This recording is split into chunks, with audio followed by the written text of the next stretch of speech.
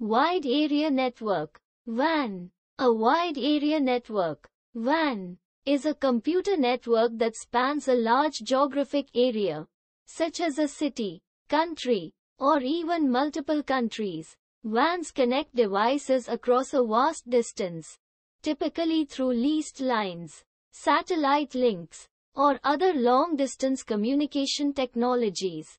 WANs can be used by organizations to connect remote sites or branch offices to a central network, enabling communication and data transfer across long distances. WANs can also be used to connect individual users to the Internet, allowing them to access resources and information from anywhere in the world. Some common characteristics of WANs include large geographic area, WANs cover a large area, often spanning multiple cities, countries, or continents. Low speed. WANs can be slower than LANs due to the long distances involved and the need for data to travel through multiple devices and networks. Public network. WANs are typically connected to the Internet or other public networks, making them accessible to a wide range of users and devices.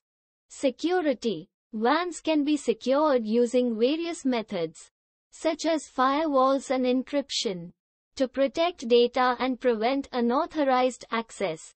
Cost. WANs can be expensive to set up and maintain due to the need for specialized equipment and communication technologies. Overall, WANs are an essential component of modern communication and information technology enabling global communication and data transfer across vast distances.